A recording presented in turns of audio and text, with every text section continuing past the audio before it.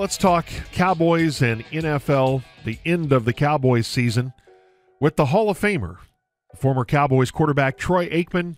It's brought to us by Licor 43 and the original Cara Hero and BDO accountants and advisors. Morning, Troy. Good morning, guys. I don't know if you've been keeping up with this or not, but since you retired, the Cowboys haven't sniffed the Super Bowl, and the story continues as we go to 26 years and they're a one and done in the postseason. We were just talking about eh, every year it's disappointing if your team eh, gets knocked out, but boy, frustration really growing around here because uh, this looks a lot like a lot of other postseasons over the last 26 years.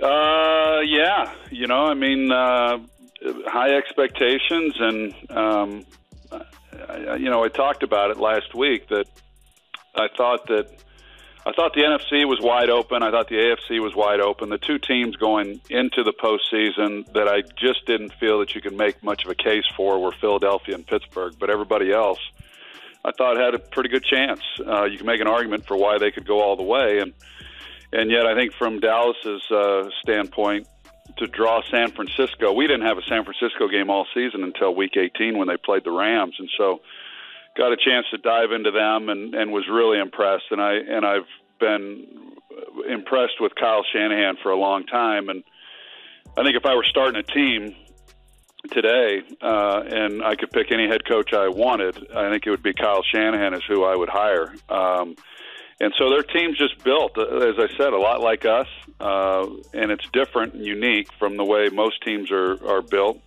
in today's NFL. Uh, but it's a formula that's won a lot of football games over the history of the league. And so for Dallas to face them in the wild card game, I, I thought it would be a, a really tough ball game. I, I could see certainly Dallas winning that game, but I could see San Francisco winning. And the thing that you hate, which is what happened to Dallas, and it seems that it's happened – you know, more times than not, when you go through a regular season, you get into the postseason, you're positioned pretty well, you feel that you've got a good team, then you then you can't you know it's the playoffs. So you just don't want to look back and not play your best football. And that's what I've always loved about the postseason is that you can't make any excuses. Um, it is what it is and you have to go out and play and you have to play at a high level. And if you don't you go home. Uh, whereas in the regular season, you can always come up with various reasons as to why you didn't get it done, why you didn't play so well, and always say, well, you know, we'll regroup and get better and we'll play next week. That's not the case in the postseason, and too many times Dallas just hasn't played their best football when they've gotten in. We saw this team play at a pretty high level the first half of the season against teams like Tampa Bay and the Chargers and the Patriots. Why couldn't they do that in the second half of the season against good teams and especially in this game against San Francisco?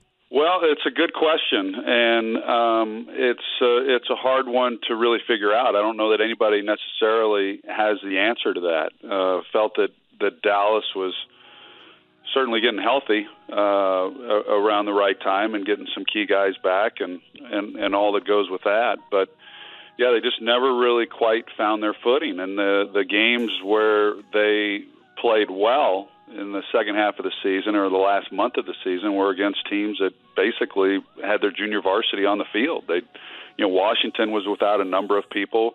The Eagles didn't play anybody in the last game of the season, and I and I don't. But as we talked about, uh, sometimes it doesn't necessarily matter who you play if you can gain some confidence going in.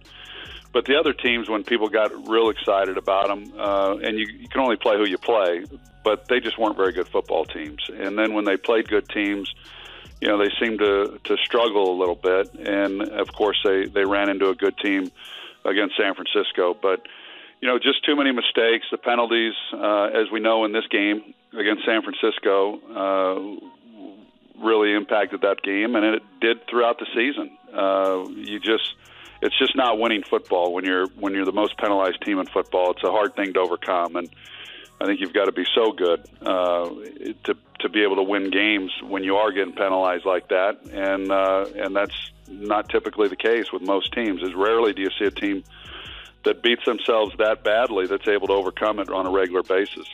Boy, to accent what you're saying about playoff football and running the football, seems like anytime you bring up running the football, everyone's ready to move on to, uh, yeah, but when are you going to throw it and run the touchdown play? But every postseason game last week with the exception of one, the team that won was the team that was able to run the ball. Um, even Bucks Eagles, and I almost throw that one out because it seemed like such a, mi- a mismatch.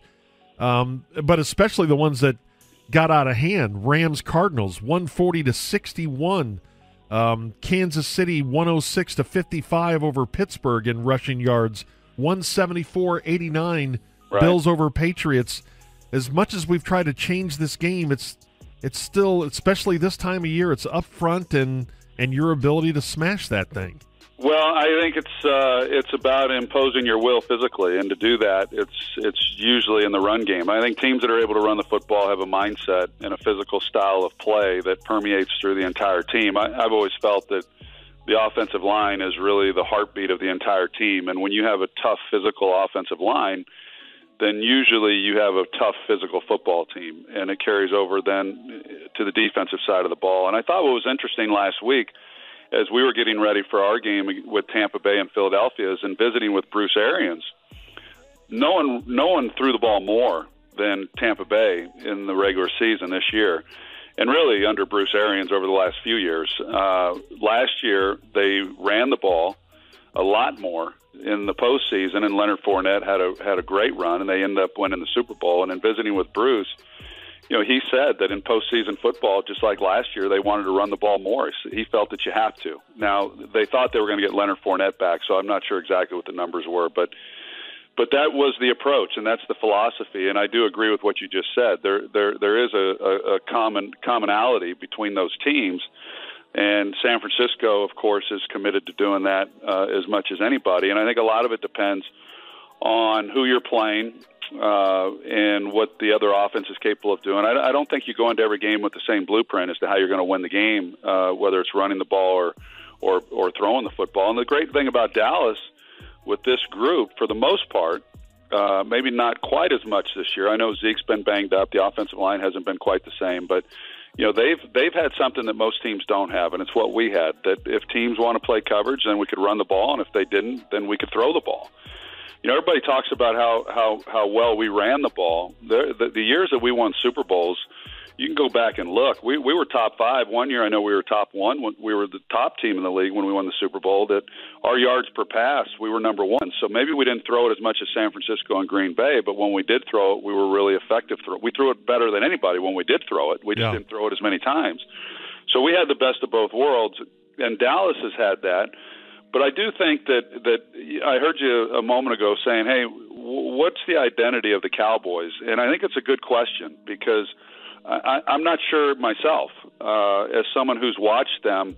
And I say that because they did under Jason Garrett, they built the offensive line. That was really important to him and wanted to have a blueprint similar to what won us Super Bowls back in the 90s. And so they invested in the offensive line. Those players hit with Zack Martin and Tyron Smith and um, Travis Frederick and you know so forth. And they've still they've still invested in the offensive line, but I, I don't know that they're built ar- around the strong running game that they were. Um, you know, last week in the game against San Francisco, I think what was, and it happened in our game uh, with Philadelphia, and I commented on it if y'all watched the game was it CeeDee Lamb? What did he have? One catch in the game? Yep. Is that, yeah. is that right?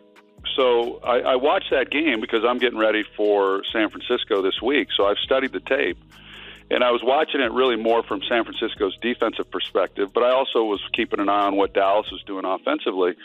And yeah, they San Francisco rushed four guys for the most part. They blitzed occasionally, but they're a four-man rush football team.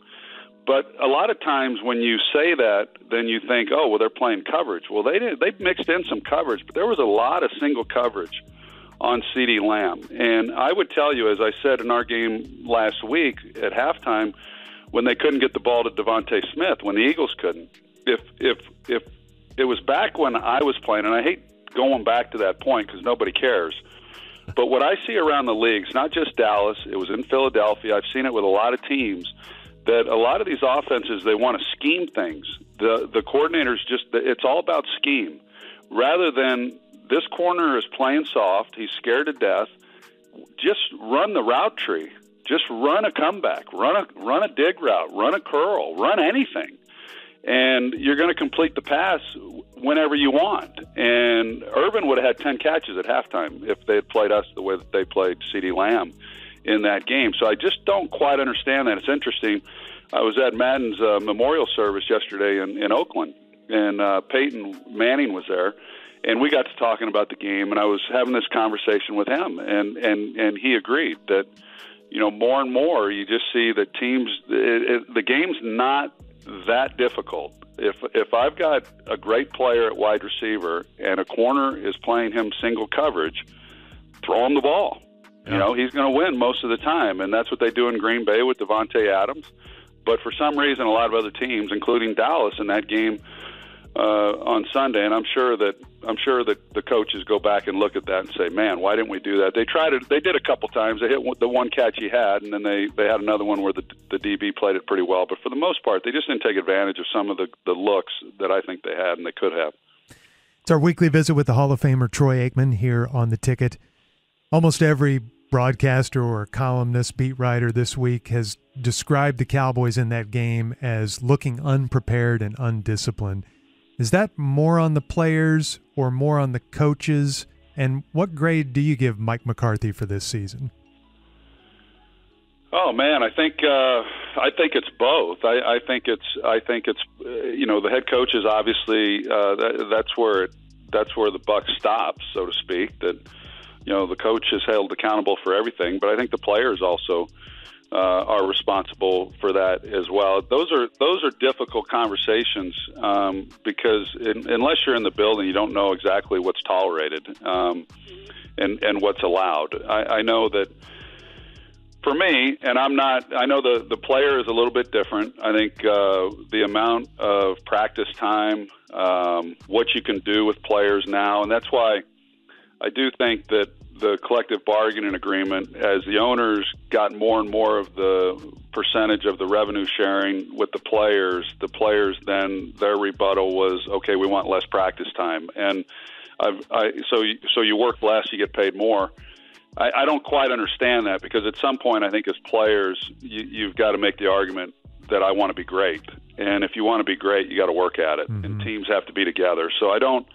I, I don't I don't like that part of it but I do know that the players are coached differently uh, than they were. Um, I thought it was funny going back to our game against Philadelphia with Tampa Bay. Here, Bruce Arians is out there. He goes Woody Hayes on on you know, yeah. Andrew Adams, and I thought, wow, you, you know, there's not many coaches in the league today that could get away with that um, within a locker room. So things are much different than than than they once were. I think as far as uh, grading Mike, I think I think most people would probably say, you know, that's a C, just because you come into the season and the, it's really what you're going to do in the postseason. I mean, fairly or unfairly, uh, and I think it's I think it's fair. You know that the expectations are certainly high for the team, and they should be. It's a talented team but sometimes maybe they're a little higher than they should be. And I think part of that is just that Jerry, at his core, is a salesman. He's an optimist. Um, so he's always talking about Super Bowls, and we all understand that.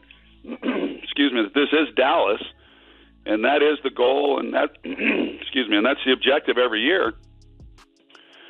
But it's a long year to get back to January again, you know, and so if you get into the postseason and you don't win a game, it doesn't for this organization, and this is a good thing.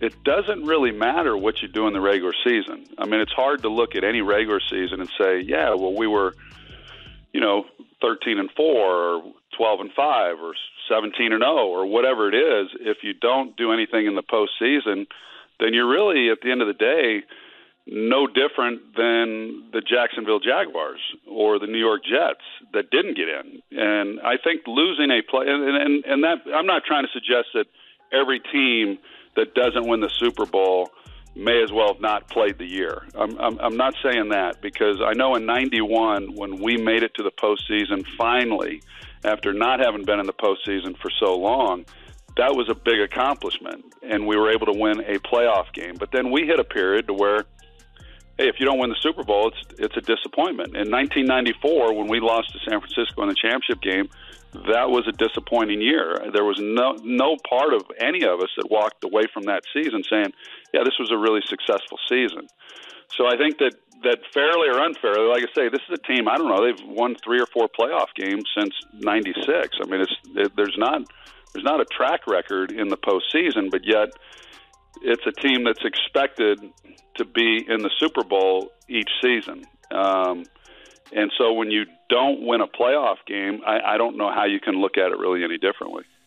And I, I don't know how much interaction you have with Jerry. I know it bothers him because he wants to win. There is no doubt Yeah. about it. And I, and I think he's made some changes over the years, maybe given a little more power to his son. And Will McClay, I think, has a big role Yeah. in this organization. But I, I don't know. Like, um, what do you think his night was like Sunday night?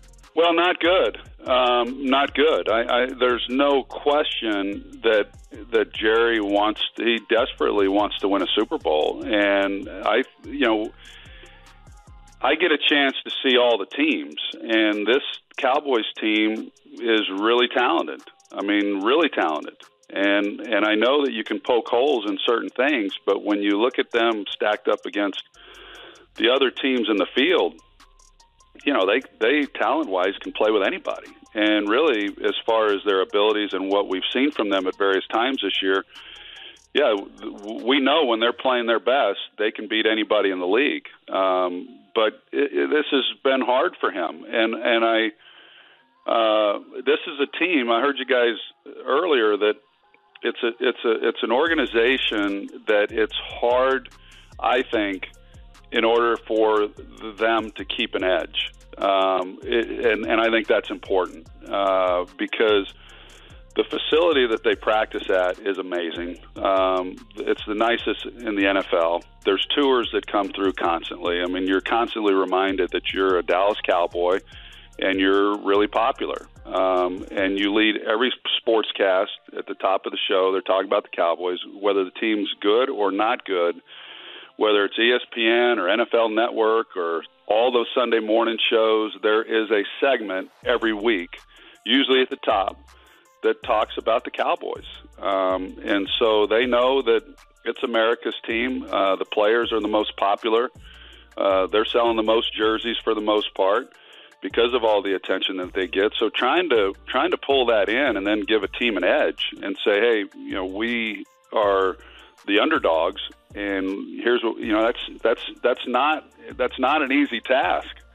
Um, so I think that's the challenge. That's the challenge for for Mike McCarthy, and uh, it's a challenge for the players to try to keep that. Um, you know, I, I know that when when I was playing with Jimmy, Jimmy, uh, I don't know that I don't know that we ever felt like we accomplished anything. to be quite honest, I mean, he was the more we won, the tougher he got, and uh, there's something to be said for that. You guys had an asthma field and everything. Oh yeah, yeah. And then later, what's funny about that is, yeah, the asthma field, and now now Jimmy, you know, Jimmy has asthma. Does he? yeah, he does. You know, when he got when he got it told he was going into the Pro Football Hall of Fame, you know, he almost stopped breathing because of his asthma. Oh, yeah, that's, That's right. right. You know, he got so emotional about it, but Yeah. You know, I, I couldn't laugh about it then, but I laugh at him now. 'cause He's got an inhaler, and I say, you know what? The you know they got that asthma field. Yeah, at least he knows where it is. Yeah, it's over there. well, I see the uh, forecast calls for possible snow and single-digit uh, temperatures on uh, Saturday night in Green Bay. Ought to be a uh, awesome setting for what should be a really interesting game between the Packers and 49ers. Uh, yeah, it's it's going to be fantastic. Uh, these two teams, we've done some of these postseason games. It's it's always pretty memorable, and I, I it is interesting though. Uh, you know, at a time we talk about what's best for the players, that they're playing uh, primetime night games in Buffalo and in Green Bay, Wisconsin. right. So, Perfect. lots the fans, come on. well, have a great weekend. Tell Joe we said hi. Have a good call on Saturday night. I'll do it. All right, fellas. Thank you. You bet. Thank you. That's the great I Troy. Aikman, 49ers in Green Bay.